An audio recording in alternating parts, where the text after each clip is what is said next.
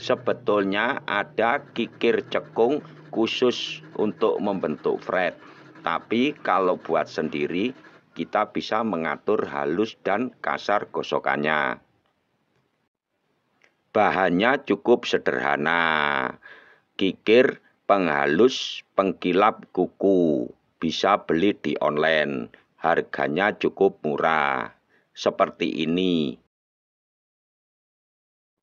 Ada dua sisi, yang halus dan kasar. Alasan kenapa memilih dua bahan karena kalau dijadikan satu sudah ada jalan lurus presisi. Dibandingkan kalau buat dari bahan yang tebal terus dibagi di garis pasti akan sulit presisi lurus. Agar nanti pengerjaannya lebih mudah, masing-masing sisinya di bagian halus ujungnya kita kurangi.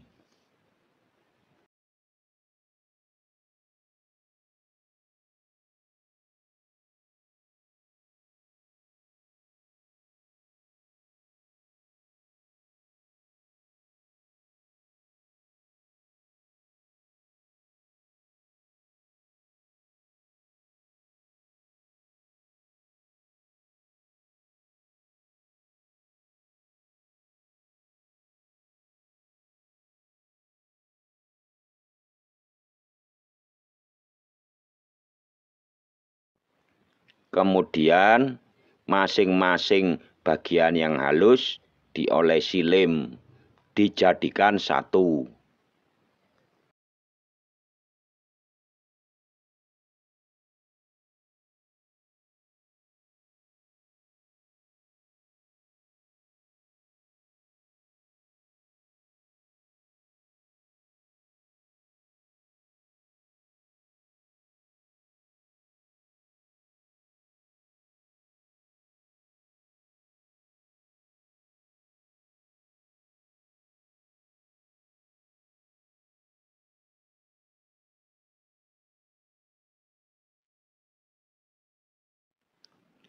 Agar lebih sempurna lurusnya ketika merekatkan, cari bagian yang datar, bisa di lantai.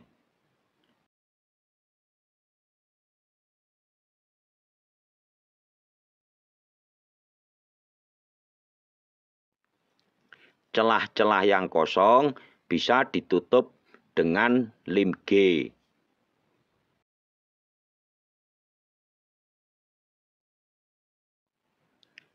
Haluskan permukaannya biar rapi dan enak dipegang.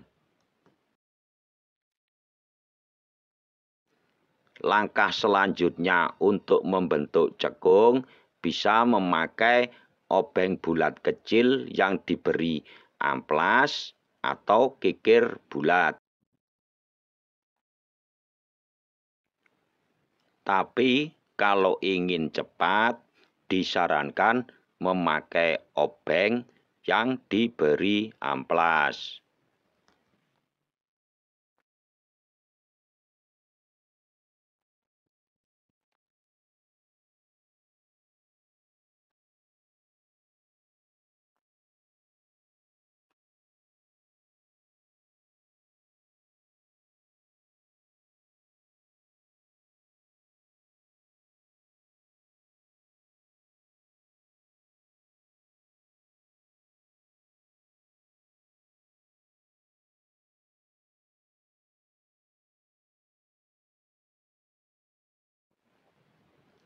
Kita gosok pada garis sampai membentuk cekung.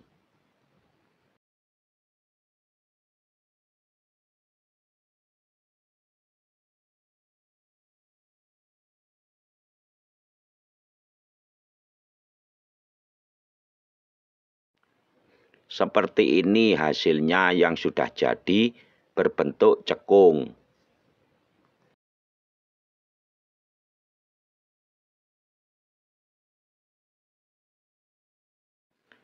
Sekarang tinggal di tempeli amplas, bisa amplas halus atau kasar sesuai kebutuhan.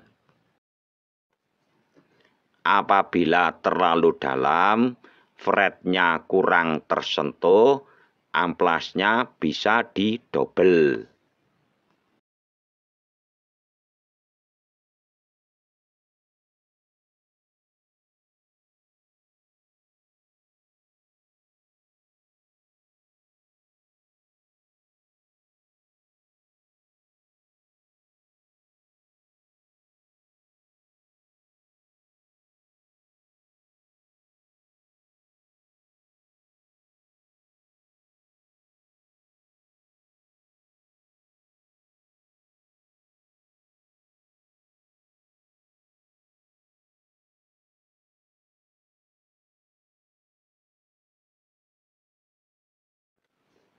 Agar amplasnya yang di dalam bisa menempel dengan sempurna, bisa juga ditekan pada fret gitar yang mau diperbaiki.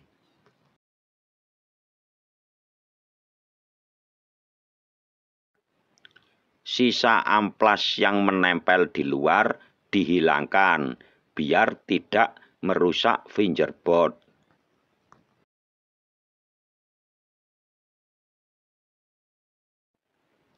Cukup dengan digosok-gosok di kayu, biar hancur dan hilang.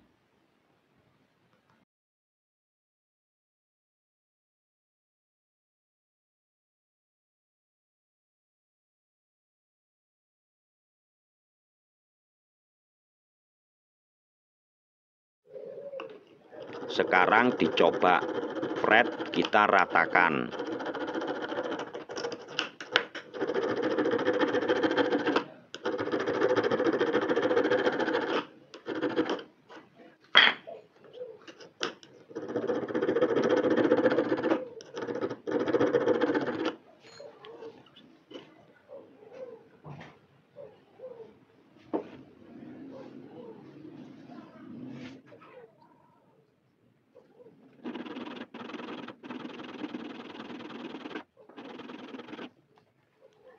Kelihatan serbuk-serbuk fret yang kena gosok.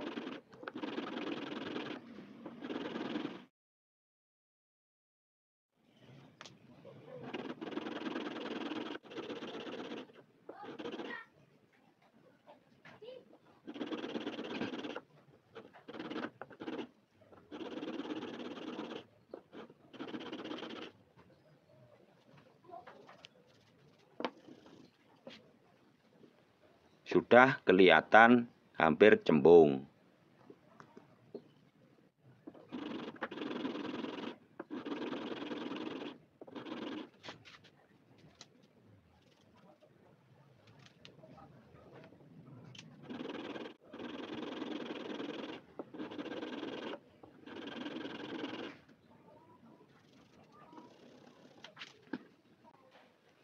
Kira-kira hasilnya seperti ini. Terima kasih telah menonton video ini. Semoga bermanfaat. Assalamualaikum warahmatullahi wabarakatuh.